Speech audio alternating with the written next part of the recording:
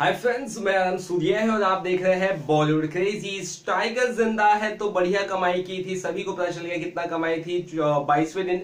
लेकिन हमें नहीं पता था कि काला कांडी और 1921 और एक और फ़िल्म जो है तीसरी कौन सी है? मुकाबाज इन तीनों फ़िल्मों ने पहले दिन क्या कमाई की है? मैंने आपको एस्टिमेट्स बताए थे। अब बताता हूँ आपको एस्टिमेट से मेरे कौन कौन से एस्टिमेट्स लगभग लगभग सही हुए हैं, वो आपको बता देता हूँ।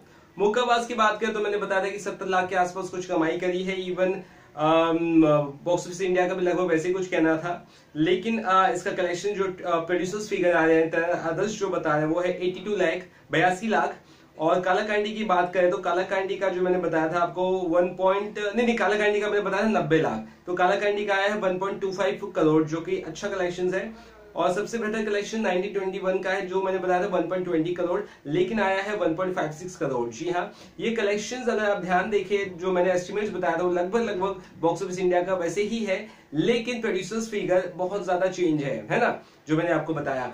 और वही अगर हम देखें, हमेशा यशाच की फ़िल्मों का producers figure trade figure same रहता है, इसलिए मैंने जब से टाइगर ज़िंदा की बात हुई तो मैंने स्टार्टिंग से ही आपको ट्रेड फिगर प्रोड्यूसर्स फिगर बताया, क्योंकि लगभग लगभग सेम होता है। लेकिन इन फ़िल्मों को आप देख सकते हैं ट्रेड फिगर और प्रोड्यूसर्स फिगर में ज़मीन आसमान का फ़र्क है। कम से कम 20-20 तीस लाख का फ़र्क है। तो ये हमेशा होता है यही कंफ्यूजन होता है कि जब भी आप बोलते हो कि सूर्या पर तू गलत कनेक्शन बता तो कोई लोग ट्रेड फॉलो करते हैं कोई लोग प्रोड्यूसर्स पावर फॉलो करते हैं। और कोई लोग कुछ लोग तो भलता ही आ, कुछ भी डाल देते तो लोग उसे फॉलो कर देते तो ये सब चीज़ें होती रहती है।